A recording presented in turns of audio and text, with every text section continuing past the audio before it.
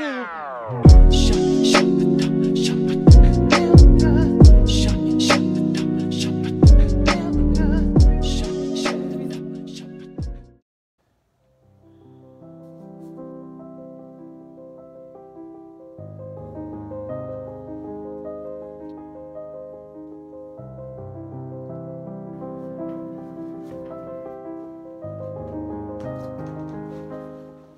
Hej, z tej strony Rania. Witam Was w nowym vlogu. Jest dzisiaj niedziela i spędzimy sobie razem dzień. Może tydzień, jeszcze nie wiem. Zrobię może taki szybki live update, co się u mnie ostatnio działo. Już jakiś czas temu wróciłam z Malty. Teraz tydzień spędziłam w domu, jeszcze nie poszłam do szkoły, ale jutro już wracam.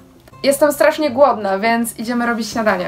Pokażę Wam moje ostatnio ulubione śniadanie, które cały czas jem. Skyr. Wrzucam całe opakowanie do miseczki. Na suchą patelnię wrzucam płatki owsiane razem z cynamonem. Na małym ogniu je tak podsmażam, aż się przyrumienią i później dodaję połówkę banana.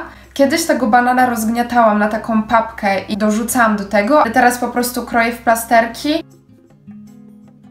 Jest już prawie 12. Jestem tak głodna, chcę to całe zjeść. Ja uwielbiam śniadania na słodko i też to jest tak uniwersalne. Dosłownie możecie dodać cokolwiek lubicie. Ja dałam sobie jeszcze kiwi, pistacje, można też zamiast skyru dać, nie wiem, jogurt grecki, no cokolwiek.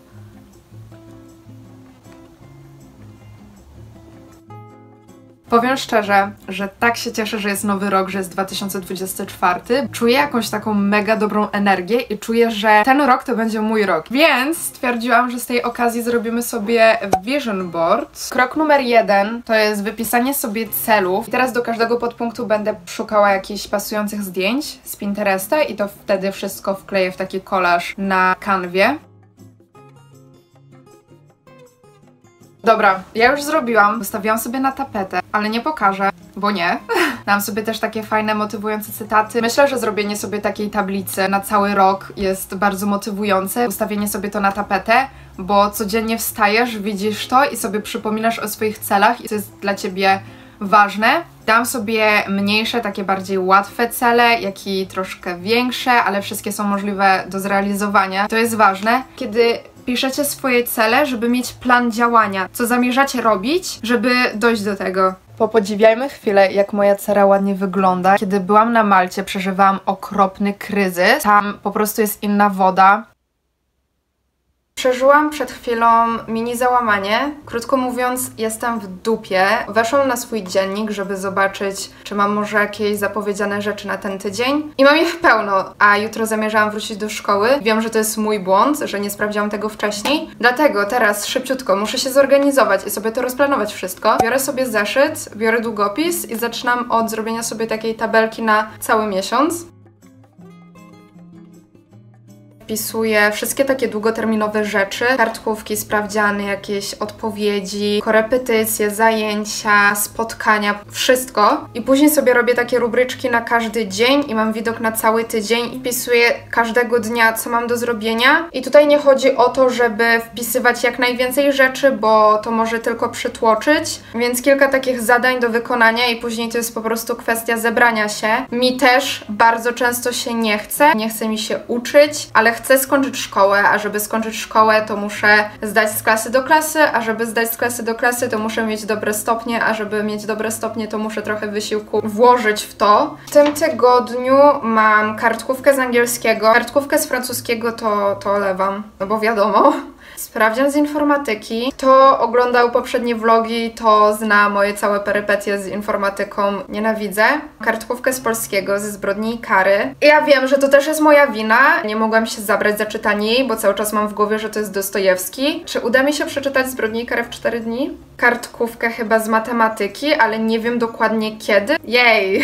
Co mi bardzo pomaga, kiedy właśnie wpisuję w swoją to-do listę, co mam do zrobienia. To jest takie dokładne sprecyzowanie. E, poczytać książkę, to poczytać książkę, nie wiem, pół godziny. Konkretne rzeczy.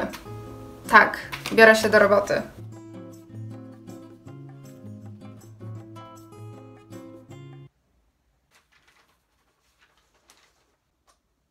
Styczniu jest pełen zasyp filmików, jak zrobić glow up, co zrobić, żeby 2024 był twoim najlepszym rokiem i tak dalej. Uważam, że super, jest to bardzo motywujące. Też może być ta druga strona, że niektóre osoby może to właśnie demotywować i przytłaczać. Zawsze na początku roku jest taki mega duży zapał, chęć do zmiany, ale później ona z biegiem czasu zanika. Wtedy jest czekanie na kolejny rok, bo jest ta myśl, że ok, od przyszłego roku zrobię to, ok, od przyszłego tygodnia zrobię to, ok, od przyszłego miesiąca zrobię to. Cały czas jest po prostu czekanie na ten idealny moment, a tak naprawdę ten idealny moment nie istnieje, tylko on jest teraz. Tak się zastanawiam nad tym, co zrobić, żeby rzeczywiście być wytrwałym w swoich celach i postanowieniach, żeby serio, tak serio, serio, serio ten rok był lepszy. Pierwsza rzecz to jest uświadomienie sobie, że życie nie jest zero-jedynkowe. Ja też tak miałam, albo 100%, albo nic. Dam na przykładzie diety. Ktoś sobie postanawia, że chce jeść zdrowo. Zero cukru, zero przetworzonych rzeczy, ale może wystąpić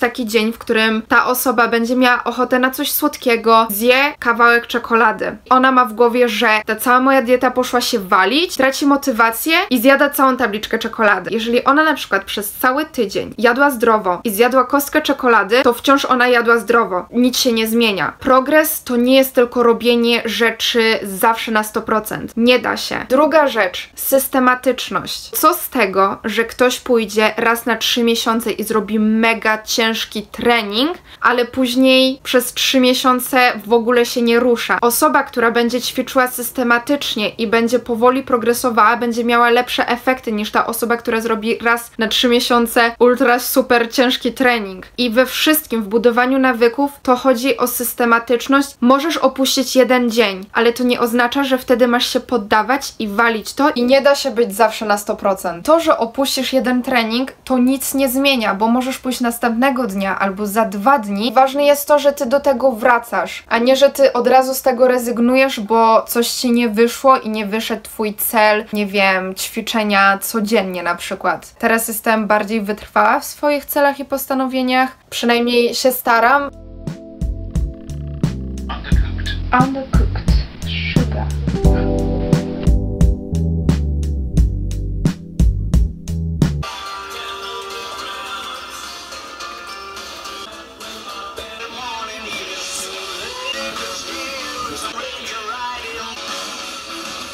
Koncert w łazience podczas szykowania się to jest moja ulubiona rzecz.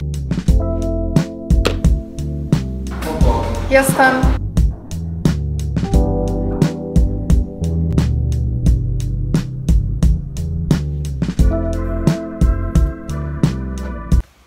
Hey guys! Jestem trochę zmęczona, ale dzisiejszy dzień nie był taki zły w szkole. Nic za bardzo się nie działo. Idę coś zjeść, odpocznę i biorę się za naukę, za liczenie zadań z matematyki.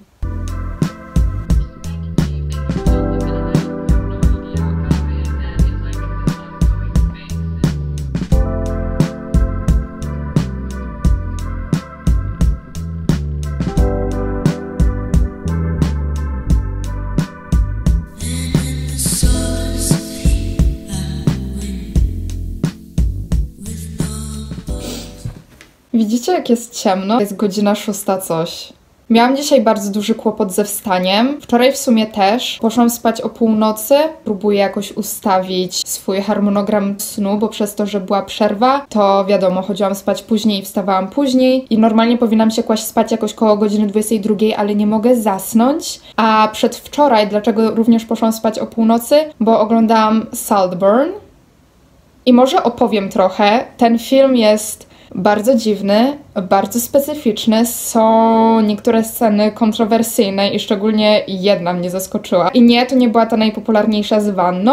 Kinematografia była świetna i myślę, że miałam taki duży element zaskoczenia. Ja kompletnie nie wiedziałam o czym będzie ten film. W ogóle żadnych scen nie widziałam oprócz tych ze wstępu, więc ja również nie będę mówiła o czym jest, bo myślę, że wtedy właśnie jest najlepszy odbiór, jak się nie wie. Ale co, mimo wszystko wyrobiłam się ze wszystkim, zrobiłam sobie medytację, trochę popisałam. Mogłabym wstawać o wiele później, ale nie lubię tego. Nie lubię się spieszyć. Już się ogarnęłam. Nawet się dzisiaj nie malowałam, bo mam tak ładną cerę, że I też pomalowałam paznokcie. Bardzo ładnie. Jako pierwszą lekcję mam informatykę, na której mam sprawdzian. Miejmy nadzieję, że to zaliczę. Pół godziny do wyjścia mam chyba, więc sobie poczytam, żeby jakoś wykorzystać ten czas. I tak, wciąż czytam Upadek. To jest tak cienkie. Ta książka jest świetna, bardzo mi się podoba i wiem, że to będzie jedna z moich ulubionych książek. Po prostu nie mam dobrego czasu czytelniczego ostatnio.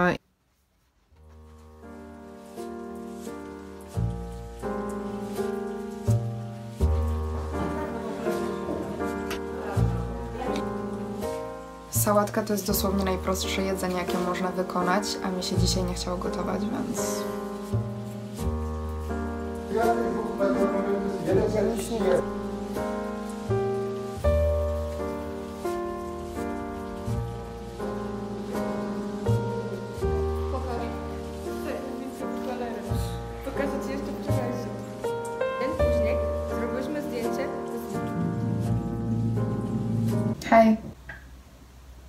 Pokażę jak robię humus, bo całkiem już opracowałam, odkąd robiłam pierwszy raz.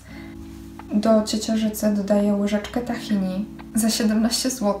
Ono nie kosztuje 17 zł, ale ja raz kupiłam, bo nigdzie nie było w jakimś ekosklepie. Tahini. Sok z cytryny. Oliwa z oliwek. Teraz przyprawy. Przyprawy są najważniejsze we wszystkim. Można dodać co się chce, sól, pieprz. Ja lubię taką ostrą, ale jeżeli ktoś ma sriracha, to sriracha dodać. No, bardzo ważne, żeby dodać zimnej wody. Ja daję tak, no trochę. Dlaczego zimna? Nie wiem, tak słyszałam, że wtedy jest bardziej kremowy.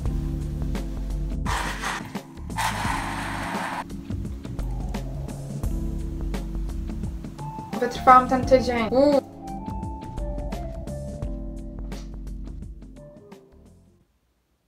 Zaplanujmy sobie następny tydzień, bo moje życie to jest teraz szkoła. Tak.